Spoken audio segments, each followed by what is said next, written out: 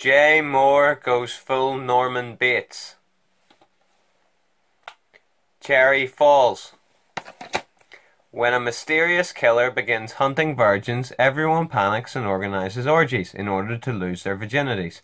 But Brittany Murphy doesn't attend and gets attacked, describing a woman who claimed her father and others raped her, but turns out to be her English teacher in drag.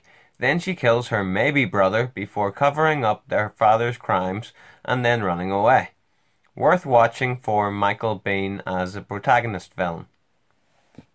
Then Harry then Jim. Then they came looking for me. And they grabbed me. They threw me on top of her.